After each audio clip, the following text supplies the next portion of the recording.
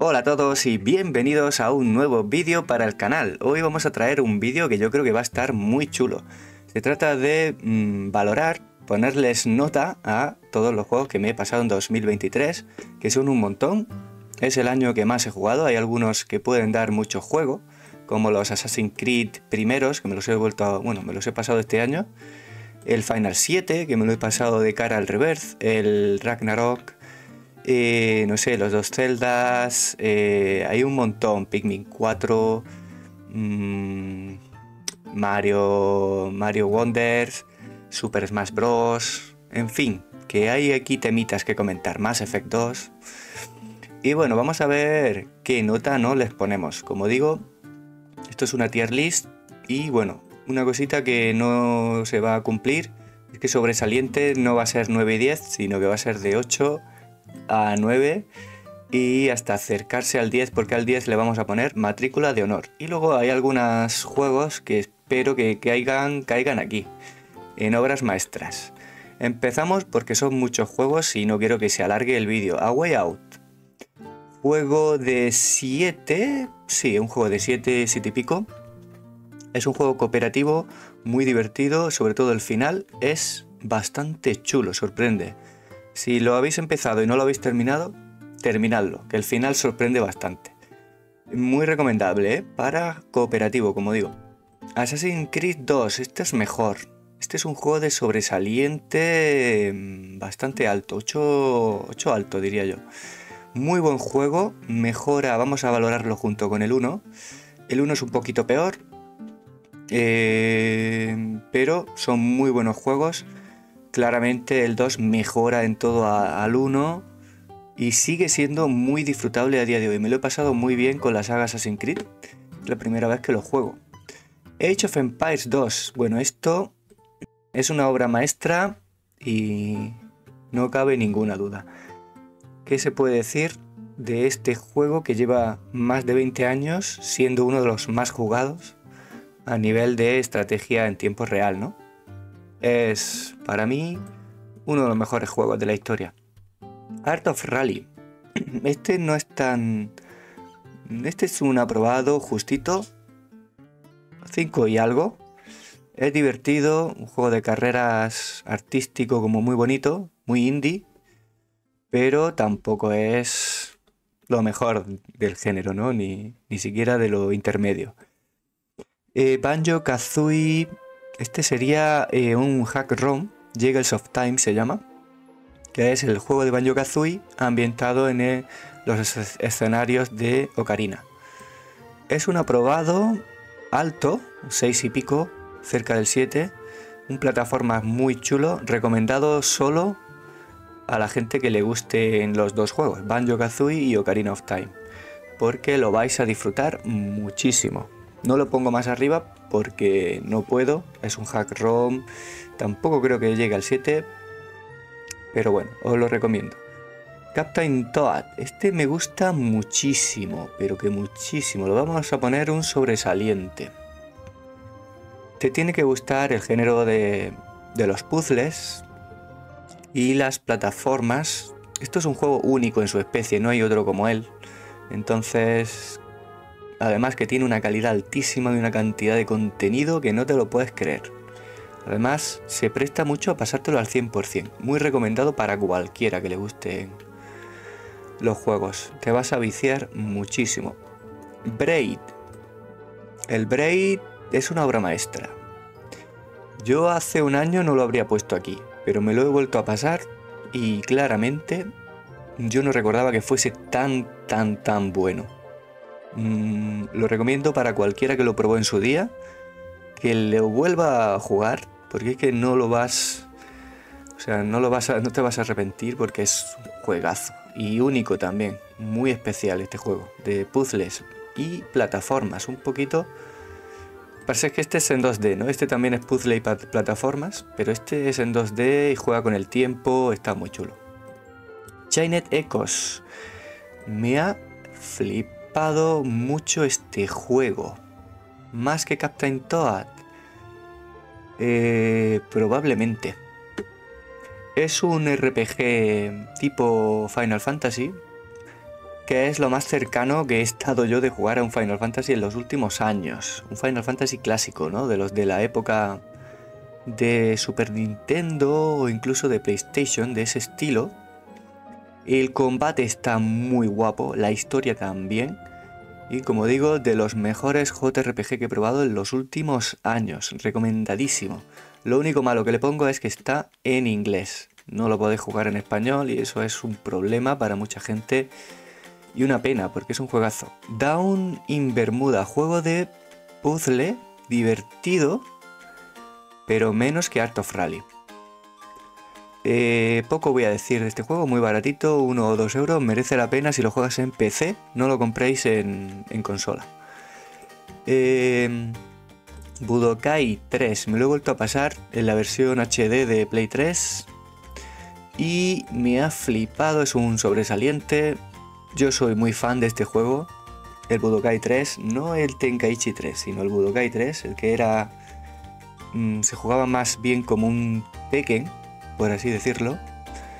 Y me flipa la cantidad de contenido, las historias, el modo campaña, la cantidad de personajes, la música. Juegazo, si te gusta eh, Dragon Ball y además los juegos de lucha, imprescindible. Eh, Rally 3. De los mejores juegos de rally que he jugado lo pongo por encima de Assassin's Creed 8 y medio fácilmente. Mucho contenido. Muy divertido. Fácil de jugar incluso. Mm, pero también tiene su dificultad hacia los niveles finales. Un juegazo. Pero bueno, aquí lo, lo pongo en contraposición del D-Rally 2.0. Que este es una matrícula de honor te tienen que gustar los juegos de carreras para entender estas notas ¿no? que estoy dando. Pero este juego es que no tiene ni un punto flaco. Es un 10 en todos los apartados. La jugabilidad es increíble, los gráficos, el contenido tiene mucho contenido. Yo lo he jugado con todo, todos los contenidos eh, al máximo, con los DLCs de Colin McRae. Y es un simulador estupendo. Es el mejor simulador que, hay de, juegos de rally. Donkey Kong, ¿dónde lo coloco? Este es uno de mis juegos favoritos. Le vamos a dar una matrícula de honor también por encima de D-Rally, diría yo. El mejor juego, según mi opinión, de plataformas en 2D. Creo que no hay ninguno mejor. Alguien puede estar pensando también en Rayman Legend, que también es muy bueno, pero no creo que llegue al 10 estaría ahí cerquita, nueve y pico. Pero este es que no tiene nada malo. Es increíble. Un pelín difícil quizá. Pero fácil de pasártelo realmente. Tienes muchas vidas. Eh, cuando empieza lo difícil, que es lo que a mí me mola, es cuando te lo has pasado realmente. Que llegan los niveles de dificultad extra y te retan de verdad. Eh, Romantic. Este juego no es muy bueno. Diría que es de los peores que he jugado. Es un juego de mesa. Es disfrutable un rato. Pero te acabas cansando. Es muy bonito, eso sí. Nada más por lo bonito que es. Merece la pena jugarlo y pasárselo. Ever Oasis. Un juego de 7, diría yo. Juego de Nintendo 3DS de los mejores del catálogo. Muy sorprendente, muy único también. Mezcla estilo Zelda con Dungeon y con construcción de bases, construcción de un oasis en este caso. Divertido. Hex 64. Mm, este juego lo recordaba mejor. Me ha gustado. Me lo he pasado entero. Pero los controles han envejecido súper mal. Si no fuese por eso, le daría un 7 y pico, lo pondría más alto. Pero no he podido ponerlo más alto. Lo he jugado en la versión que yo jugué en su día, de Nintendo 64 y vamos con God of War. Este juego es un sobresaliente alto. Me ha gustado más que Chinet Echoes, que ya es mucho decir. Me parece un juegazo en toda regla, mm, gráficos, jugabilidad, eh, diseño de niveles, muchos más enemigos que en el God of War 1. Un juegazo. si tuviese que ponerlo en comparación con el 1, creo que el 1 a mí por lo que sea me gustó más. Pero este lo mejora todo. Así que no sé por qué explicar por qué el 1 me gustó más. Probablemente porque la historia creo que está mejor, mejor contada. Eh, Final 7. Juego de sobresaliente sin ninguna duda. Eh, bueno, en su época fue muy buen juego. Lo voy a dejar aquí porque creo que estos me gustan más. Pero es un 9 y pico. Un juegazo. No creo que sea el mejor Final Fantasy. Yo lo pondría seguramente en un top 5, quizá top 6. Pero es un juegazo increíble mm, de los mejores del género, claro, claramente. Además, en su día lo, que significó, pues no tiene comparación, ¿no? Golf, Golf Story, juego de sobresaliente, mejor que todos estos, diría yo. Es un juego de golf, ¿vale? Pero además tiene muchos toques de humor. Tiene también un poco de RPG y es súper recomendado porque todo el tema del golf está divertidísimo. Es el mejor juego de golf en cuanto a juego arcade que he probado. Porque las mecánicas funcionan muy bien, la estética a mí me mola mucho, estética retro, eh, pixel art, muy bonito. How to Escape. Este juego es cooperativo tipo A Way Out, pero le voy a poner por encima. Porque, bueno, a mí me gustan los tipos puzzle, como digo, esto es un escape room, pero además es cooperativo y es muy único porque tu compañero tiene que usar el móvil. Tú utilizas con tu, tú utilizas el mando y la tele y tu compañero el móvil. Vas en un tren y cada sala es un escape room diferente. Está muy bien hecho. Además, recomiendo que os vayáis cambiando ¿no? del rol y probéis las dos, las dos vertientes, la del móvil y la de la tele. Muy recomendado, como digo, obligatorio si te gustan los juegos cooperativos. Heroes 3. Este juego de estrategia por turnos sigue después de más de 20 años, sigue en activo. Esta es una campaña que salió hace un par de años y me la he pasado y tengo que decir que lo coloco por aquí. Un juegazo de estrategia no recomendado para todo el mundo. Solo lo recomiendo si habéis jugado en su época o si te gusta mucho, mucho, mucho los juegos de estrategia por turnos si eres capaz de adaptarte a un control que está desfasado más de 20 años, ¿vale? Pero un juegazo. Jack and Daxter, esto es un juego de plataformas tipo Banjo Kazooie, tipo Mario 64, que es mejor que Assassin's Creed, peor que Golf Story, no, mejor que Golf Story, pero no llega al 9. Es un sobresaliente alto, 8 y pico, juegazo, me ha flipado y ahora ya soy un enamorado de, esta saga. Porque, bueno, a mí me gustan mucho las plataformas, ya habéis visto que me he pasado el Hex, el Banjo Kazooie y el Jack and Daxter. Se queda por ahí. Banjo Kazooie, por cierto, no es el original, el original estaría por aquí, matrícula de honor seguramente. Eh, Killzone. El Killzone es uno de mis juegos... Mmm, favoritos de, toda mi vida. me encanta el Killzone 1, me lo, me lo he jugado en la versión HD de Play 3 y sigo pensando que es súper divertido de jugar a día de hoy. Y creo que le voy a poner un sobresaliente porque en su día es que era la, la, puta hostia. Y todavía hoy en día a mí, ya te digo, me sigue gustando, me lo vuelvo a pasar una y otra vez el modo campaña y bueno, esta versión en HD, pues, ¿qué te voy a decir? Pues lo mejor que han sacado de la saga. Vale, eh, se queda por ahí. Sí, me ha gustado más. Siempre es que es un juego fetiche del, de mi catálogo. Eh, sí, me ha gustado más que Jack and Daxter. Eh, Loader Runner, un juego moderno, ¿vale? Es la versión moderna del Loader Runner. Los que ya hayáis jugado, pues quizá lo podáis probar como Mm, por aquí lo voy a colocar. Como, no sé, como para echarle un ratito y pasar un buen rato recordando los buenos tiempos de de Runner, lo podéis jugar. Sin embargo, el de Runner original, que lo he vuelto a jugar y me lo he tenido que pasar de nuevo, me parece que es un juego que lo voy a poner por aquí. Juegazo de 8, 8 un juego de 8, 8 y pico, 8 corto. Es un juego de plataformas y puzzle, tipo Braid, tipo... Bueno, no, no, es, no es exactamente el tipo Braid, pero sí, el género sería plataformas y puzzle. Muy sencillo, muy divertido y recomendado para cualquiera que le guste el género. Mm, lo traeré al canal en forma de mini vicios, probablemente, porque se presta mucho.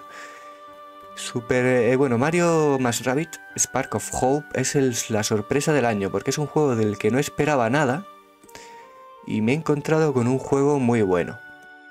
Creo que como se puede comparar con el Heroes, porque son juegos de, estrategia por turnos en un mapa, mucho, muy ágil, muy divertido.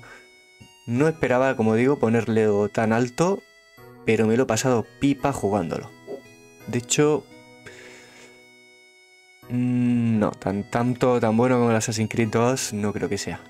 Eh, Metroid Prime, me he pasado por primera vez el Metroid Prime en la versión de Switch remasterizada. Y me va a costar mucho no colocarlo aquí. me ha encantado, ¿vale? Me parece que es un juego único y como, como tal lo voy a dejar ahí. Porque es un Metroidvania pero en 3D. Lo cual no abunda, diría que no existe prácticamente. Uf, es que tan, tampoco creo que sea una, obra maestra. Sí que es verdad que es muy único, muy especial. Lo vamos a colocar por aquí. Bueno, no, por aquí. Eh, no creo que sea un juego de 10 porque ya digo, es que no tiene... No es tan pulido, no es tan perfecto, ¿no? Era la primera vez que se hacía una cosa así y evidentemente tiene errores, ¿no? Pero al ser un juego tan especial, tan único, lo tengo que poner ahí, un 9 y pico rompedor ese juego. Eh, Underground 2. Esto sí que es un 10, tío. Esto no puede no ser un 10. Me he pasado el Need for Speed Underground 2 otra vez por vigésimo sexta vez, vez. Me lo he pasado muchísimas veces. Cada vez que lo pongo me lo tengo que pasar en modo historia. Pero es que tiene una cantidad de contenido. Es tan divertido de jugar el modo campaña, el modo de carreras escala de una manera muy bien, muy bien hecha.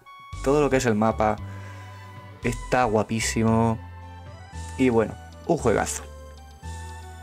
Mass Effect 2. El Mass Effect 2 es un juego que no creo que llegue al sobresaliente, pero se queda muy cerca. Eh, lo dejo por aquí. Creo que Jack and Daxter me ha gustado más, sí, de hecho me ha gustado más seguro. Mass Effect 2 es un juegazo, un 8 alto, cerca del 9, de ciencia ficción. Habrá mucha gente que le pondría más arriba, seguramente. Yo creo que a día de hoy ya lo he jugado en su versión de Play 3, ¿vale? No sé si su versión moderna mejora, seguramente. Pero bueno, estoy valorando la de Play 3. Creo que se queda ahí porque las mecánicas han envejecido un poquito mal, creo yo. Sigue siendo muy divertido de jugarte una misión, estás deseando acabar para empezar otra, pero a día de hoy se queda un poco antiguo. lo que es la jugabilidad. La historia sigue siendo guapísima y la, el lore que tiene, todo muy chulo. Mark of the Ninja, un juegazo de plataformas estilo sigilo que yo creo que lo voy a poner por aquí. Me ha gustado mucho, es un 8 y medio, probablemente un juego recomendadísimo a cualquiera que le guste los juegos indies de calidad. Y en este caso además es especial porque creo que como este no hay muchos. Es tipo tipo plataformas 2D, pero con mucho sigilo. Muy bien recreado todo el tema del sigilo. Quizás si fuese un poco más largo, es cortito, si fuese un poco más largo lo pondría más arriba. Northgard, el juego de estrategia de, de los vikingos. Es un juego que está bien para echar un rato, pero no creo que esté mejor que Ever Oasis. Si te gusta la estrategia por turnos, tienes que probarlo. Es divertido, la campaña también. Pero eh, bueno, hay muchos en su propio género que son mejores y bueno, este es muy indie, no puede llegar a más, pero eh, pues se lleva un 7 que no está mal. Pikmin 4, juego de estrategia increíble que yo creo que me ha gustado más que todos estos, así que le voy a poner un 9, 9 y medio quizá, juegazo. Eh, tengo que reconocer que la saga Pikmin a mí me flipa, me mola, me encanta. Este es uno de los mejores, para mí no es el mejor, creo que el 3 me gustó más y está mejor diseñado, pero este es más ágil, muy, muy divertido de jugar. Eh, tiene también el tema de meterte por las grutas, las, las cuevas y tal, que está bien hecho. Aunque a mí me gustaba más, tengo que decir, el Pikmin 3, el diseño de niveles de cada nivel personalizado, bien pensado, difícil. Este es un poquito más fácil, hay que decirlo. Y bueno, pero sin embargo sigue siendo la saga Pikmin única en su especie y un juegazo. Pineapple on Pizza. Este, si lo valorase por la originalidad, probablemente estaría por aquí un 9. Muy original este juego. Lo que pasa es que es un juego que te lo pasas en 5 minutos y es una anécdota de juego, ¿no? Así que lo vamos a poner eh, por aquí. Eh, divertido, como digo, probadlo. Eh, nadie se quede sin jugarlo porque es gratuito, está en Steam gratuito y os va a sorprender. Pikuniku, un juego regulero mm, mejor que Dorf Romantic, eh, mejor que Down in Bermuda, no creo que sea. Un juego de plataformas, también se puede jugar cooperativo, pero muy cortito, muy baratito, muy indie. Y pues para echar un rato está bien. Runaway. Me he vuelto a pasar, bueno, este nunca lo había jugado, el 3, eh, me ha gustado mucho, creo que... Creo que me ha gustado más que Assassin's Creed, no, un poquito menos. No creo que llegue al 8, de hecho. Se va a quedar en un 7 y pico. Eh, por aquí lo voy a dejar. Es un juego de tipo aventura gráfica. Bueno, ya sabéis, la saga Runaway es el tercero de la saga. Creo que es un pelín peor que el 1 y, que el 2, según yo, ¿vale? aunque pues tiene algunas mejoritas técnicas como el sistema de ayuda, está muy guay.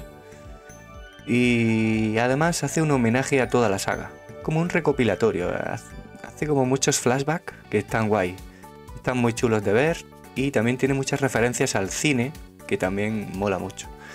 Resident Evil 2, no, Silent Hill 2, no sé por qué, confundo las dos sagas.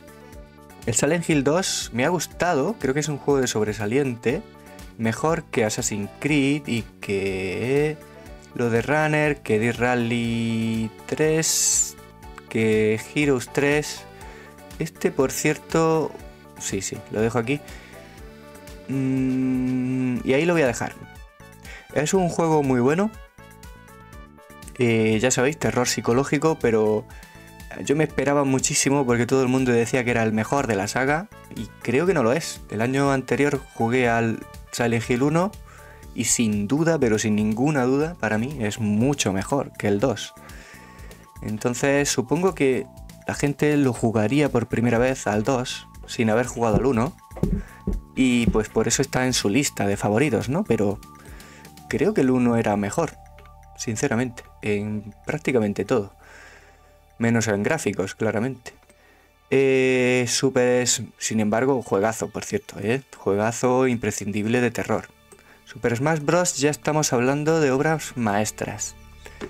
Vale, mejor que Bright. Esto es un juegazo que poco le voy a, le voy a poder decir, pero la cantidad de contenido, la jugabilidad tan pulida que tiene eh, y actualmente sigue a día de hoy siendo, según yo, el mejor juego de lucha que hay. Ver a la gente jugar, a los pros jugar, a los pros eh, jugar un torneo es flipante. Jugarlo con tus amigos también lo es. Mm, no, hay, no hay nada mejor. Super eh, Mario Bros. Wonder. Me lo he pasado. Juego de plataformas muy digno de su saga. Se queda en un 8. Mm, voy a dejarlo aquí. Me parece muy buen juego de plataformas 8 y medio. pero no lo puedo poner. Hay gente que lo decía que era el mejor de, este estilo, ¿no? De, del estilo plataformas. Yo creo que Donkey Kong es el mejor sin duda y ni siquiera podría considerarlo el mejor de su saga. El, por ejemplo, Mario Bros 3 para mí sí que podría ser el mejor de su saga y colocarse incluso como obra maestra. Este es muy bueno, está muy polido y sobre todo me encantan los niveles tan divertidos que han hecho. Muy cortitos, eso sí, mm, facilitos, diría yo.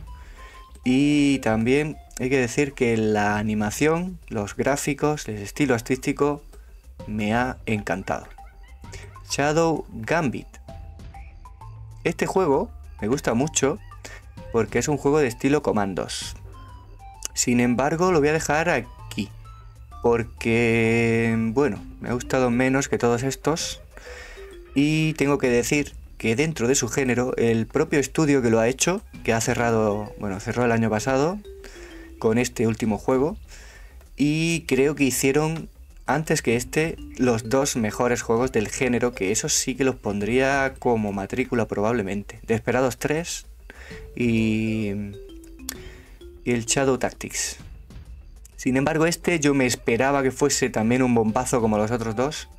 Y se me ha quedado muy cortito, la historia me ha interesado muy poco.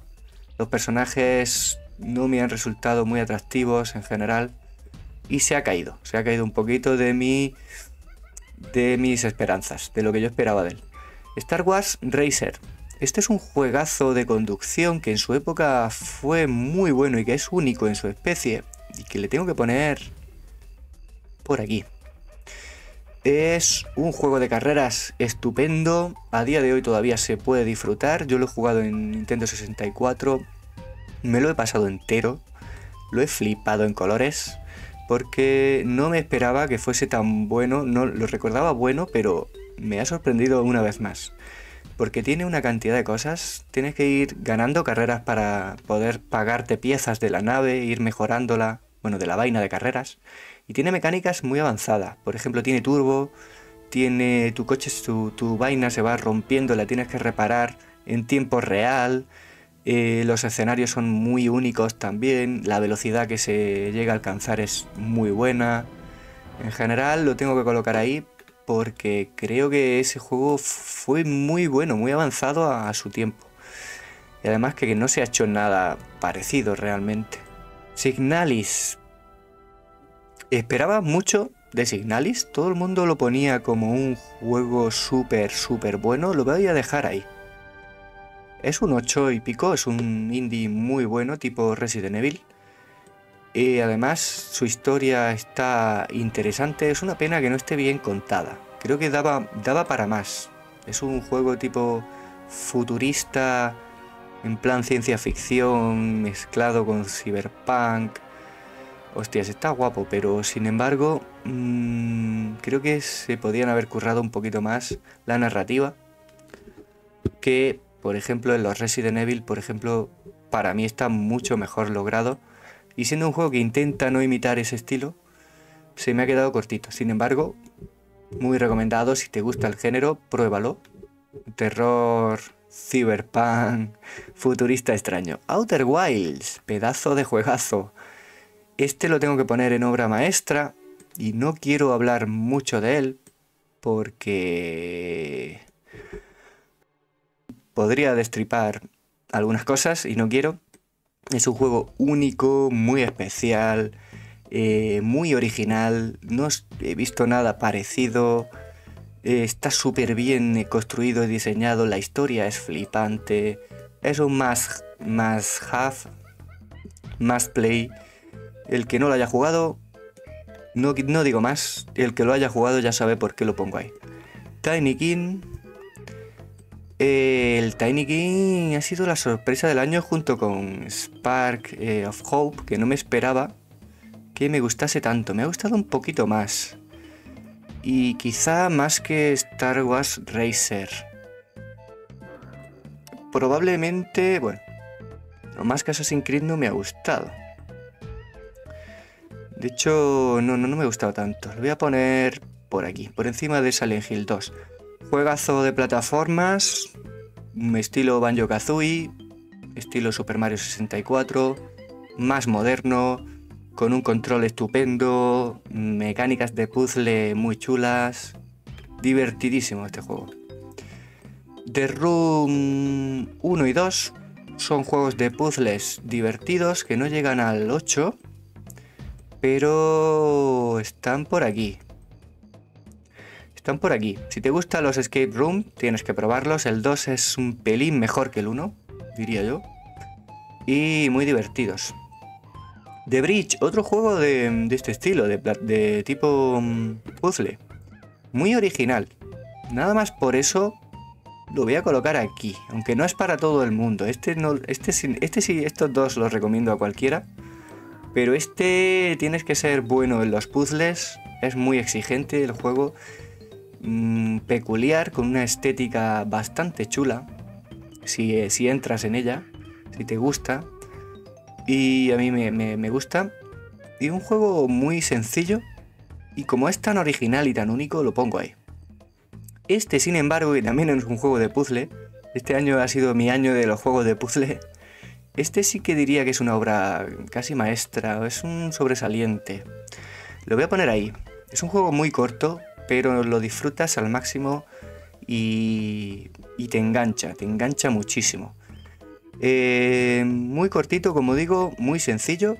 Son islas pequeñitas que tienes que resolver con temas de temporales y mm, no me esperaba que le diese un 9, pero se lo doy. Juegazo.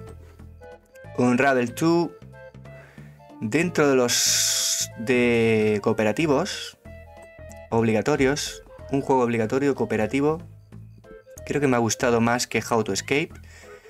Eh, como digo, es cooperativo y plataformas con, eh, con un hilo, tienes que hacer un montón de puzzles con un hilo tienes que ir superando una serie de pruebas. Muy divertido, muy muy divertido. Como digo, si os gustan los juegos de tipo cooperativos, tienes que jugarlo. Uber Rally. Este es un muy buen juego. El Uber Rally original, ¿vale? Lo he jugado en su versión de Nintendo 64 y me lo he pasado entero, pero no lo recomiendo a todo el mundo. Se lo recomiendo solo a ver, lo vamos a colocar... Yo le voy a poner, le voy a poner un 8 porque en su día fue muy bueno. Hoy en día pues ya no... No puedes compararlo con un juego de rallies actual. Eh, aquí estaría el mejor, por cierto, si alguien tiene intención de jugar alguno. Pero, mm, no sé, me ha gustado, tiene algunas cositas que no me esperaba, como configuración de ruedas y de suspensión. Bien, no me acordaba yo de eso. Y pues solo lo recomiendo a aquellos que lo jugaron en su día. Wall World.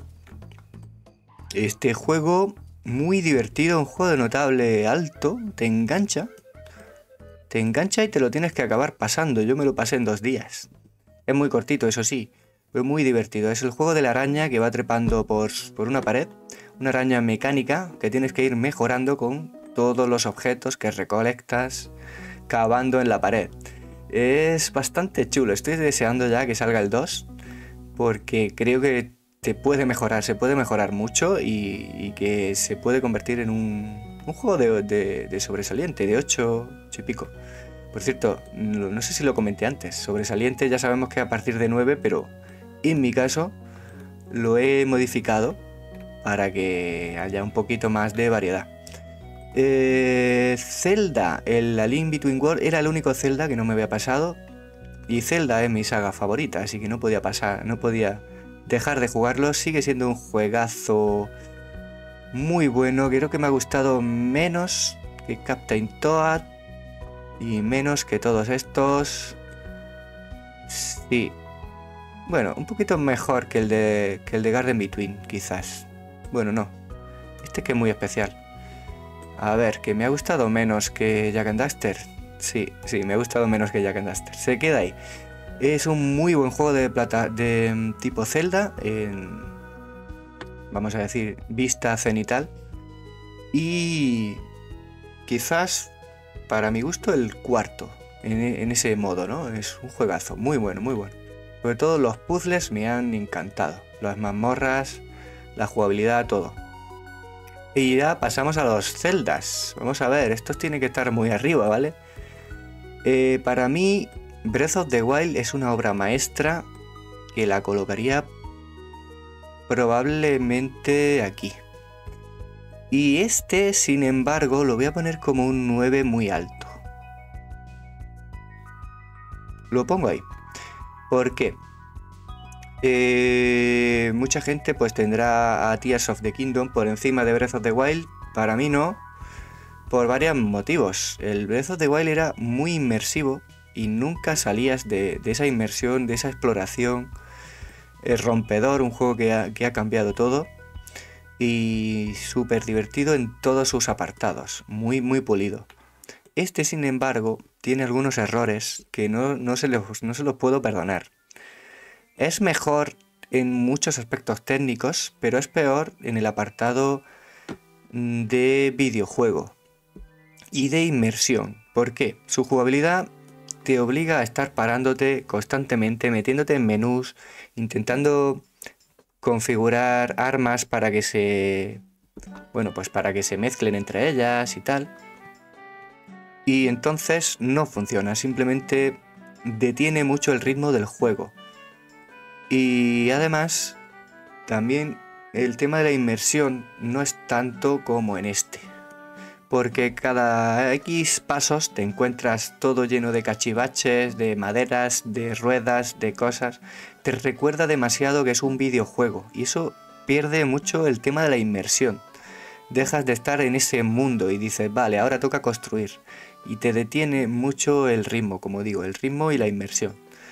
Este, sin embargo, no tiene ninguno de esos problemas. El sistema de, lucha también con las armas y el nivel de dificultad está mucho mejor diseñado y mucho más divertido de jugar en ese aspecto.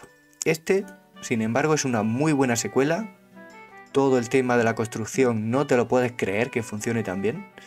Pero se queda por aquí. Me ha gustado menos que Pikmin 4 y no me esperaba que fuese así. Y bueno, este sería la foto, esta sería la foto de, los juegos que he jugado en 2023. Espero que os haya gustado. Dale a like si te ha gustado y si quieres más contenido de este tipo. Y nos vemos en el próximo vídeo. Hasta luego.